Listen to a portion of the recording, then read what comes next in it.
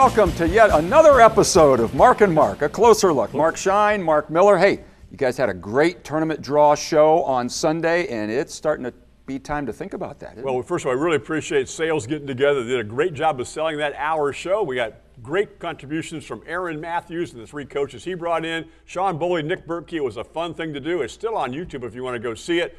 It was a great event to put that thing together and prep the tournament because here it comes. It won't be long, but we got some league championships to finish up, and we've got some review games that'll go a long way towards telling who's going to win those leagues, and you got started. Well, first of all, let's go to the NWC. Let's look at Paulding at Crestview. Crestview came in. Remember when they were four and three, and we were all kind of doubting the Crestview Knights? Well, those losses were to Van Wert by four, Fort Jennings by eight, and Ottoville by four. Since that time, they were on a 10-game winning streak and were 5 0 in the Northwest Conference play. Paulding had won three in a row. They were 8 and 8. They were 4 and 1 in conference play. So this was their chance for the Panthers to try to catch up in the conference. But Paulding goes up 33 23 at half. They're still up 6 to start the fourth quarter, but a huge fourth quarter for the Knights 27 to 8. And Crestview wins 69 56. Etzler with 24, including three from the three point line. Drew Klein, he's coming alive offensively, Mark. He had 19 with one. Wade Sheets had 10. Marcus Miller had 20, made four three point field goals. Jarrett Miller had 11. Carson Shull had 11. They made 13 threes, did the uh, Paulding Panthers. Paulding now had beat Liberty Center on Saturday night 68 55. They have Lincoln View at home this week, and Crestview beat Wayne Trace. That's a big win for them. 72 mm-hmm. 42. Etzler had 23 again. Klein with 15. Here he comes. And Crestview Knights will host Spencerville this week, trying to get an outright championship. Hey, let's look at the MAC. This weekend went a long ways to crystallizing who's going to win that league. First of all, St. Henry and Versailles. St. Henry got him by two, 46 44. Mark and I were there. That moves St. Henry to 17 and 3, 6 and 1 in the league. Tyler Schlarman again led him with 16 points. Devin Hulskamp had 10. For Versailles, they dropped to 16 and 4, 6 and 2 in the league. That's their second league loss in a row. AJ Ahrens had 17, Justin Ahrens had 14, this was a story about St. Henry playing a box and one on Justin Ahrens. Ryan Lutmer followed him everywhere, including to the locker room at halftime. I'm joking about that. The backdoor cut to Curtis Ulenik for the winning basket. This was a great game. And then Marion Local and Versailles got together last night. Marion Local wins 52 47. That's the second of the two losses in a row for Versailles. Marion Local moves to 15 and 4, 7 and 0, and in first place all alone in the MAC. Tyler Mesher, Nathan Bruns, they had great games. Offensively, defensively, floor game, they did it all. Versailles drops to 6 and 2 in the league now. Kyle Jones coming back his second game, able to hit some threes and keep them in it for a while. This was a really good game all the way down, but what was the difference again? A box and one on Justin Ahrens. He was held to seven points by Matt Rethman. Remember him in football, how fast he was? He's just as quick on a basketball floor. Very physical game. AJ Ahrens, Tyler Mesher, battled personal fouls the whole way, but this was a great game, and you're seeing what a packed house it was at Marion Local and how they got excited and rushed the court at the end of the game. I thought Marion Local only played football. They, well, apparently they yeah. play basketball too, huh? Yeah, they do, and we had a good time looking at their banners and their trophy case, and oh my goodness, what a fun place to go to. How about that? And congratulations, Flyers, now in the driver's seat when oh, it comes there to you go. There There's, go. The, There's trophy, the trophy case. case. Look at that. One of our guys took a picture. That is the state championship trophy case. All the different sports are in there. It sits right outside the entrance to the gym. And uh, we took a picture of it, and I turn around, there's three or four other people taking pictures, probably from Versailles. And uh, the banner, they've got so many banners in their gym, they hid the, night, the 2017 one, the most recent, way up in the corner. It's the only spot they had yeah, for that, they're going to have to build an annex on that thing yes, before long, are. right there. Yes, All right, well, let's move to the NWCC then and what happened between Elgin and USV. Elgin came in at 4 and 1 in conference play thanks to a loss to the Waynesfield Goshen Tigers, and USV came in at 5 and 0 in conference play, including winning 11 of their last 12 games. But Elgin scored the first 12 points of the basketball game. USV got back in it. They were down eight at the end of the first quarter. It was tied as we with 5:50 to go in the game. USV actually took a lead, 44-43 with 123 left. It was tied at 44, and Peyton Housenbuehler made a jump shot at the buzzer to win the basketball game for Elgin. That was by a, a, just a two-point margin. Housenbuehler had 17, Colin Reif had 10, and now we're tied, each with a single loss in conference play as we head into this coming weekend. Quinn Sanders had 10, and Wayne Lowry had 10 as well. USV beat Corry on Saturday night 64-49, 27 from Sanders, 14 from Daniels, 10 from Lowry. They are at Riverside for a piece of the championship this week. Elgin hosts Frederickstown on Tuesday. And then they have Hardin Northern on Friday as they try to play for a piece of the NWCC championship as well. All right, let's move to the Shelby County Athletic League. Two of the three teams played this weekend. Anna 59 at Fort Loramie. 55 again, a packed house. It was senior night. There were mullet shirts all over the place. it was a lot of fun again for Mark and I. Uh, Abby bought one. Yeah, well, there's some mullet shirts around here now too. Yeah. Anna moves to 17 and 4. They are 9 and 2 in the league. Bart Bixler had 14, Wyatt Bensman 13, Riley Hillscamp had 12, and boy did he have a game on defense and with just his general hustle. Uh, Fort Loramie, they go to 19 and 2 and 9 and 2, both losses to Anna, home and away. They were missing six foot seven inch Tyler Siegel, home with an illness, but Dylan Braun did all he could with 23 points to keep them going. Friday, they are at Russia, who is 10 and 1 in the SCAL. Anna is certainly cheering for a Fort Loramie win so they can get a piece of that championship in a three-way tie. Yeah, it could be a three-way tie if we get to that. That was a really fun atmosphere to be a part of too. Sure you felt was. bad for Fort Loramie being short a couple players or a player, certainly in Siegel, but a nice win for the Rockets anyway. Well, one of the big non-conference games we look forward to every year is Ottawa Glandorf matching up with Lexington, two of the better programs in northwestern Ohio, and two teams that have met in the tournament before. Lexington came in at 15 and 5. They were 8 and 3 in the Ohio Cardinal Conference. They have won eight out of their last nine games. Their only loss in there was to the leader of the conference, and that was my, to Mount Vernon by 10. OG was 19 0. They were 7 0 in the Western Buckeye League, having beaten Kenton the night before 101 to 57. They couldn't get it going offensively, however, against Lexington in the first half. Uh, OG had just 17 points at halftime, nine in the first quarter, eight in the second, and Lexington was up 24 17 at half. It was tied at 38. Uh, Lexington went on a little bit of a run, ended up making a jump shot by Bryant Gerard with 1.2 seconds to go to win 54 53 after OG had taken a lead. Cade Stover with 23, including two from the three point line. Josh Aiello had 10. Jake Kaufman had 21, a couple of three point bombs, and Jake Dybel had 10. Lexington gets a chance this weekend to avenge that loss to Mount Vernon because they are at uh, Mount Vernon at home at Lexington this weekend for a chance to tie up in that conference play. OG, which we'll talk about a little bit later on, they go to Wapak and a chance to win the Western Buckeye League outright. That's kind of like a regional tournament it game is. there. That, that's always a fun event. Yeah. Oh, Which school hosted? Two good teams and two good programs. Hey, let's move on to stat stuffers. I got the first okay. one. Peyton Judy from Fort Recovery had 22 points, four threes in their win over Coldwater, 54-51. And then he had 20 in their win over Northwestern, 65 62 in overtime. So they needed all of his points to get two wins this week. Let's don't forget how young Fort Recovery is. That's going to be a good basketball team this year and into the future. Ivan Berry from Arlington, he had 21 in their win over McComb. That was a 55 44 win. Arlington has now won six out of seven. They've won seven out of their last nine, and they're prepping for the tournament with the Red Devils right now. Eric Ritter, Cory-Rawson had 33 in their win over Riverdale. They won 63 58 and then 15 in a loss to USV 64 49. He had two threes each night. Caleb Kinney got it going for Parkway this week. He had 31, including three from the three point line. A huge Parkway win as they went over a Hardin Northern 103 30. Parkway is one of those teams in the MAC. You get them in the tournament and watch out what they might do. But Caleb Kinney with 31 this week. Austin May from Liberty Benton. We talked about him a lot during football season. He's a good basketball player, too, even though Liberty Benton's having a rough year. He had 26 points and a three and a loss to Hopewell, 51 43, and then 32 in their win over Elmwood. They won just by two, 58 56. Delphos Jefferson got big games out of Alex Rohde this weekend. He got 13 of their 47 in a 47 35 win over Spencerville, then 24 in their, their win over Russia on Saturday night. That's a big upset right there. Mm-hmm. Uh, Jefferson outscored Russia 66 59. Alex Rohde had 24 of those. Congratulations, Jefferson. Good weekend yeah, for them. Yeah. Chayton Overholt from Lincoln View. 22 points and six threes in their win over Ada. They won 53 39. Stat stuffers keep giving us stuff to talk about. Kids are scoring lots of thousand point scores. And that's our bright spot yep. for today, Mark. We had several area players go over a thousand points. Let's kind of put the, the, bracket up on the screen here. Heather Lammers from Leipsic. I got a couple of ladies do it. Heather Lammers from Leipsic. She put 23 in and a win over Cory.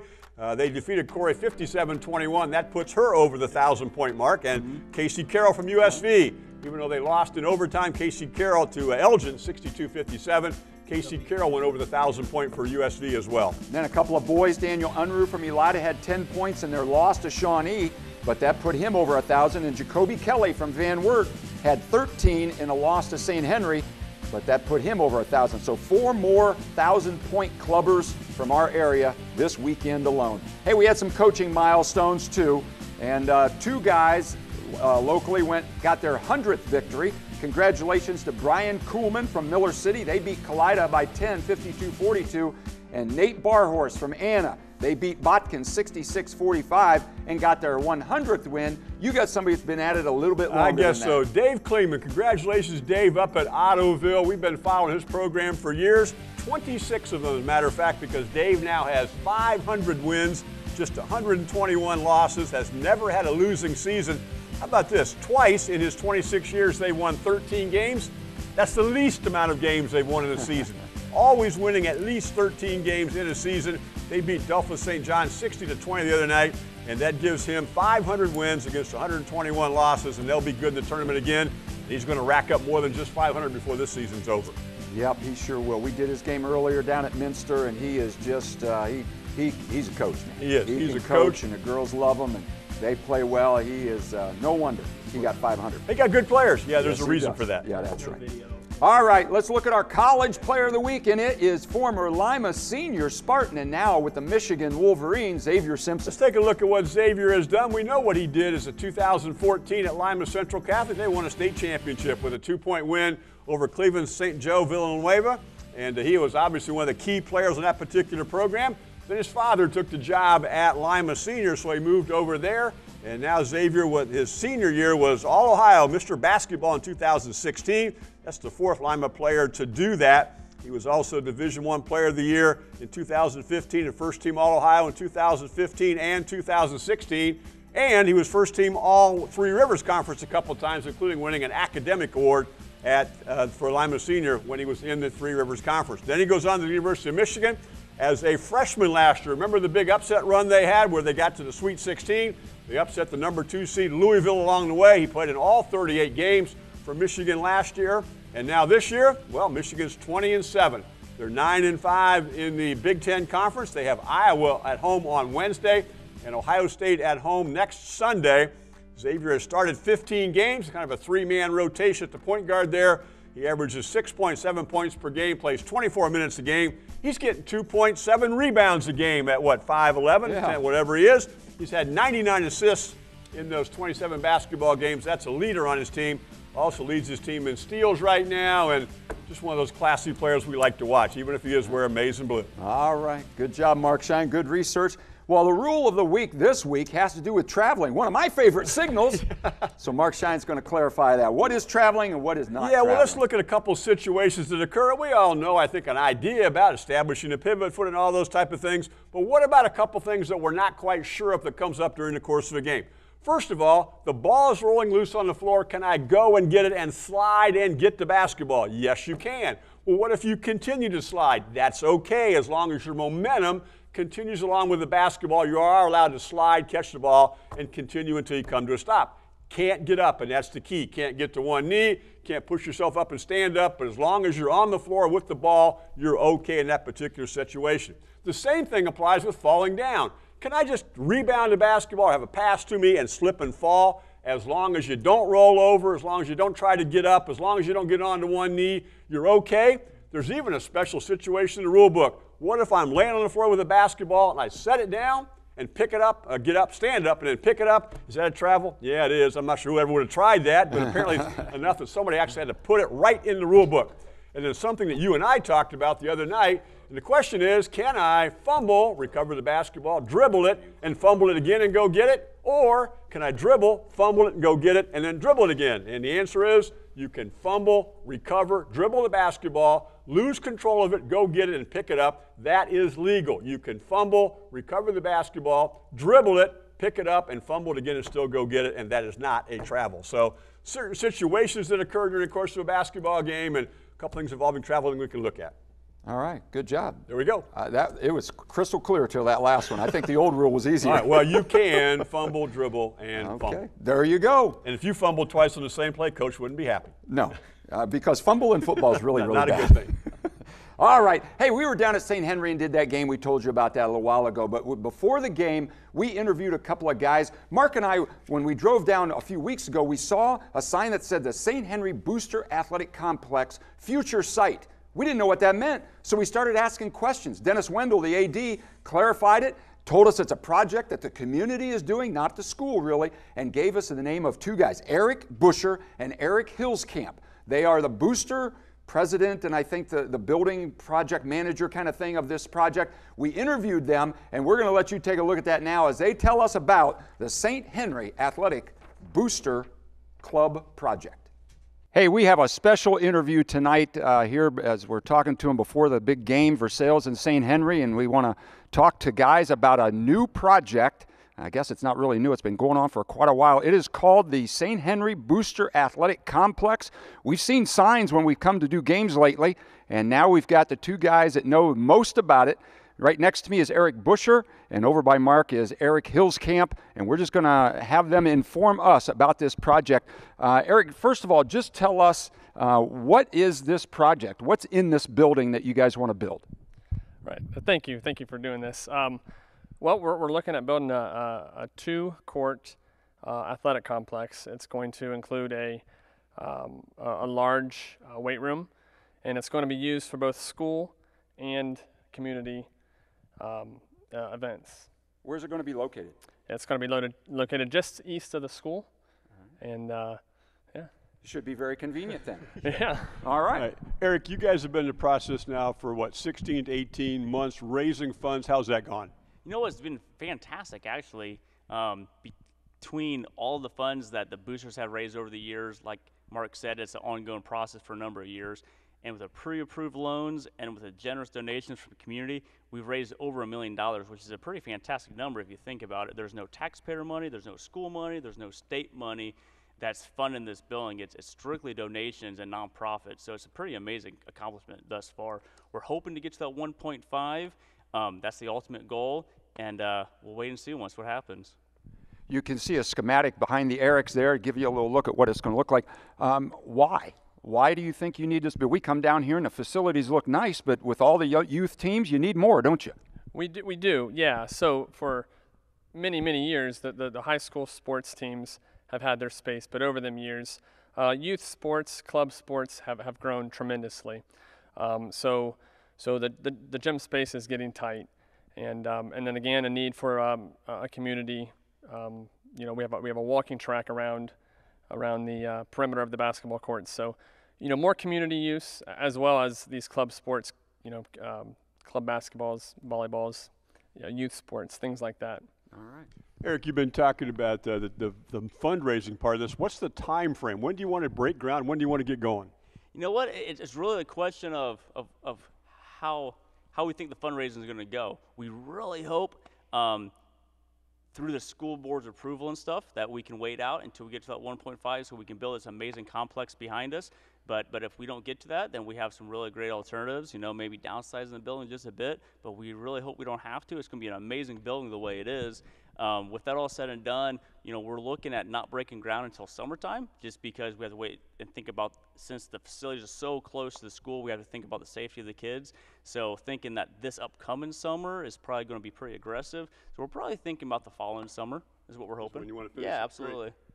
Well, these guys are here tonight. They've got this out in the lobby, and, and uh, we're going to talk about it on our show, Closer Look on Tuesday as well. But when somebody sees this and says, man, I want to be a part of that, well, how do they, what do they do? They send you money, or who, what do they do? They sure can. Yeah, you just you just send us money. Uh, there, we have a we have a website. It's shboostersclub.com. You can do it there. On there, we have uh, credit card, uh, Venmo, PayPal. Um, if not that, we have uh, donation cards that you can get here at the game, um, or contact a booster member. We can we can definitely hook you up. Yeah. Well, you've done it the right way. pretty slick brochures and and uh, forms out there to fill out. You've done a good job. We wish you a lot of luck with it. Appreciate yeah. that. Uh, one final question, Eric, because I talked to some of my friends about coming down here and talking yeah. to you with us. They say, "Say, Henry, that small community is going to raise a million and a half. Isn't that a really ambitious project for you and your community?" It is, but we live in such a generous community with, with and they have so much pride and, and, and they know when there's when there's a need, there's a way to make it happen.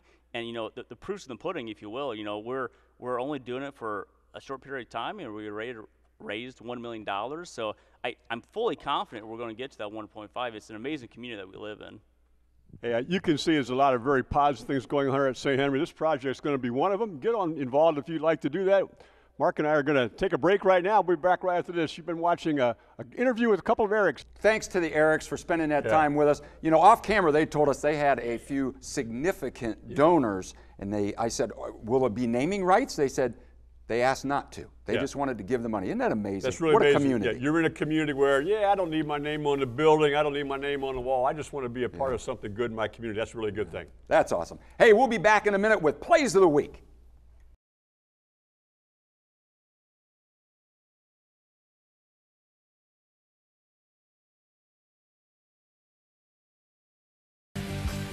Hey, plays of the week, and we start with the St. Henry Versailles game. How about that? Great game it was. And we know we talk about Tyler Schlarman. Yeah, Tyler Schlarman, he can score, he can rebound. Watch Tyler Schlarman passer right there. One handed bounce pass through traffic. And Camp finishes inside. How many times does Camp sneak loose inside? But watch the pass. First of all, we split the trap right here. And here goes Schlarman. Catches his defender staring at the basketball. There's the bounce pass and the finish inside with the nice one dribble move, and that was a really nice pass by Tyler Schlarman. Then the significant out of bounds play. Watch the inbounds pass, the tip in right there. That tip in by Zach Niekamp. This is a perfectly executed out of bounds play. We get the cross screen, then we don't switch inside. Here's the lob, and we don't bring it down, bring it right up and score. And then after that, we're going to have a chance to look at the game winner. This is the one that puts. Henry ahead with five seconds to go. Here's the pass. Watch Ulenet go back door right here. And here's the bounce pass again from Hughes Camp. And there's the game winner right there. And you can see the reaction of the fans from St. Henry because with just 4.7 left, they're going to go ahead. And here's the fake to the free point line. And then the back cut. And here's the reverse layup. And you called it, Mark. If he goes up on the other side of the floor, he gets that thing blocked. But instead, we get a basket. That's the game winner right there for St. Henry. We talk about this weave action so much, Mark, and what goes on in the weave, what coaches are trying to do when they weave on the perimeter so much. We got a chance to look at it here with Fort Loramie. What you're trying to do is get the defense to make a mistake. Watch Braun come off. Here the two defenders get confused and right to the rim and a good pass inside to Austin Siegel. Let's look at it again. The two defenders get confused right over here. Who's got who? And when that happens, you'll see number 11, and that's Brandewee, come off the screen. And the two defenders are confused. You got to get help inside. Here's Austin Siegel posting up inside, and they get a basket right there. Then our final look, once again, is just a really nice set of passes. This is a backdoor cut to Cathcart, the nice inside pass, and you can see the finish inside by Hillscamp. And Anna's going to go on to defeat Fort Loramie and hand them their second loss of the season. And watch the great passing again. Low bounce, low underhanded pass through traffic, the pump fake, and the finish inside. And Anna wins the basketball game. All right, Mark, good job. We'll be right back with our final segment.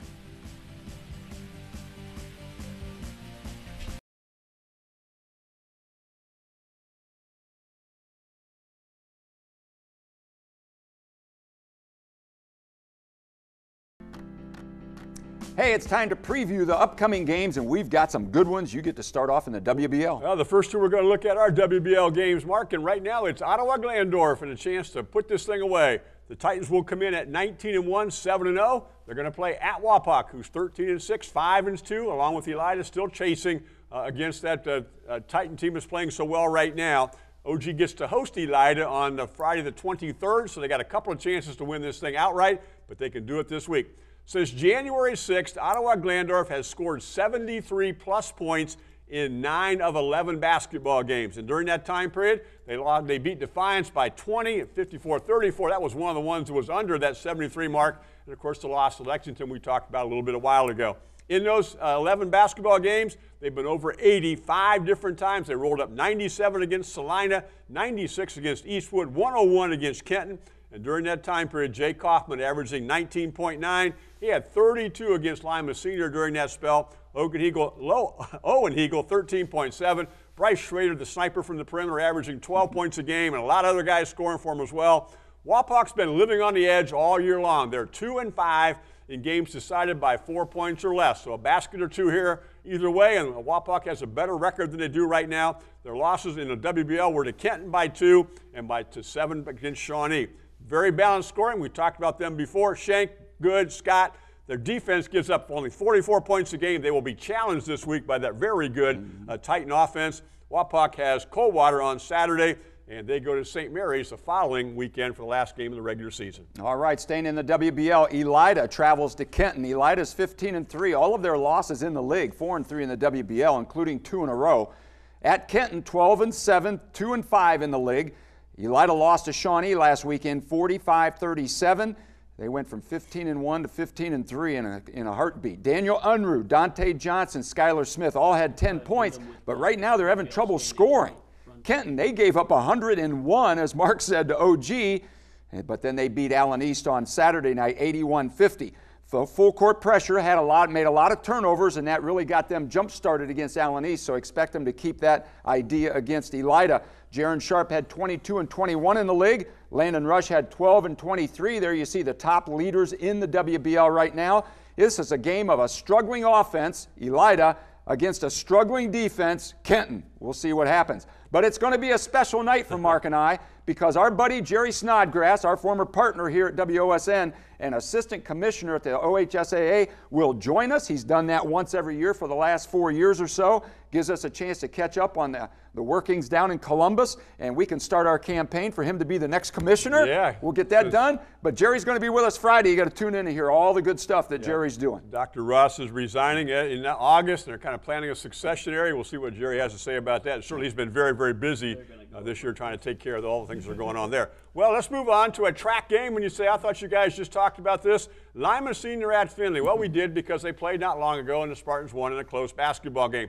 Well, they match up again this week. Lima Senior will come in at 11 and 9, 6 and 6 in the conference. Findlay is 11 and 8. They are 5 and 6 in the conference. They have a chance to get caught up as far as number of games played in conference play because Findlay goes to Toledo Central Catholic on Tuesday night. They have already defeated them once, 67 62. This will be a road game, and guess who led them in scoring? Roth and Nunn. Guys with 44 points between the two of them and eight threes the first time around. Findlay plays at Toledo Central Catholic on Tuesday. We know about those two scorers, Ryan uh, Roth, Ryan Nunn. Logston's in there as well. Uh, they are playing very, very well. They were held to just, Roth had just three points the other night when they lost to St. Francis. That's a hard thing to do as well as those guys shoot the basketball. Lima Senior, I think, is really coming on. They're three and four in the last five, three out of four in the last five, four basketball games. St. John's is the only loss in there for the Spartans. That was by seven in a game that was winnable. 19 again from B.J. Miller against Fremont Ross. Justeel Cologne's having a good second half, the 6'8 post player. He had 19 against Fremont Ross, so they're starting to come around. Findlay finishes at St. John's. Lima Senior finishes at Whitmer and they may well see each other, as you saw during our tournament bracket show the other day. They are both in the Fostoria sectional as a part of the district that's played at the University of Toledo. Uh, Findlay would have to win two games, both winnable basketball games. Lima Senior would have to defeat Springfield, and they would match up in the district semis. So it could be three rounds this year between those two schools. Putnam County League, Pandora Gilboa trying to finish off an undefeated league season in the Putnam County League. They are 17 and 1, 6 and 0 in the league. They go to Fort Jennings 13 and 6, 3 and 3. That'll be a challenge for them. Pandora Gilboa beat Vanlue 72 36. Drew Johnson, again, had 20. Jared Brees 12. Cooper McCullough had 11. Their only loss is to USV the whole season long. Friday, they play Liberty Benton. And then Fort Jennings on last Friday beat Jefferson 50 to 42. Saturday they lost to New Bremen in overtime 62-59. Last night they beat Houston 58 to 52. Six foot five senior Brandon Weary makes a big difference for them. There you can see Pandora Gilboa undefeated in the league. This will be a good game, but one that Pandora Gilboa, ranked number 14, expects to get. And one of my favorite non-conference matchups every year, Kalida at 14 and 5 plays at Van Buren, who's 11 and 7. Continental will play uh, Kalida on Friday night, and they've of course had balanced scoring all year long. Lambert, Laudick, Recker, Klausing, Contritions uh, from Rebke inside and Hovest. They've added the freshman Luke Earhart, who's averaging 12 points a game in the 10 games he's played. He's been in double figures five times. On Friday night, North Van Buren gets North Baltimore. That's a key game for them because North Baltimore was 7 1 in conference play. Matthew Ayers, one of their leading scorers, at 23 points a game. Uh, Cade Stevenson averages 10.1. Matthew Ellis, Iliff leads the BVC in field goal percentage. This was a five point game a year ago, two points the year before that. Both Van Buren wins, one of my favorite non conference matchups every year. A non-league matchup on Saturday night. Russia 13 and 6, but 10 and 1 in their league. Plays Marion Local 15 and 4, 7 and 0 undefeated in the MAC. Russia beat Fairlawn last Friday 61 49. Saturday, they had a bad loss to Jefferson, Mark talked about. Last night, they won at Houston 58 52. I think I said that wrong a little while ago. It was Russia that beat Houston. Marion Local beat DSJ 49 43 last night, beat Versailles. We talked about that game. They are playing very, very well right now. That should be a fun game that we're going to go down and do. And it is a special night because that is pork chop night. Nick Schultze is going to host the crew. We're going to go down there and eat pork chops. There you see Marion Local ahead in the MAC conference. Hey, pork chop night on Saturday. But Night to Shine was just recently here in, in Lima. You may have seen it in the paper on the news. For special needs individuals, the Tim Tebow Foundation, Lima First Assembly of God Church hosted it. UNOH and, and ONU students volunteered to run it. And the Tebow Foundation, you talk about a bright spot nationally and internationally. What Tim Tebow has done 540 churches in 50 states and 16 countries. It takes 175,000 volunteers and 90,000 guests to pull this off. And you talk about a guy that has done the right thing with his fame and fortune. That is Tim Tebow and the Tim Tebow Foundation. That is pretty cool. That's really cool. All right. Hey, let's put up our, our broadcast schedule for the coming week. We got great games coming your way. As always, we're leading up to tournament. Stay with us. Look at all those ranked teams in there. We're going to be lucky to have some teams going maybe all the way to Columbus this year. We appreciate you joining us. We got some great games that we're going to be doing as well. All right, thanks for joining us. We will see you again next week on A Closer Look.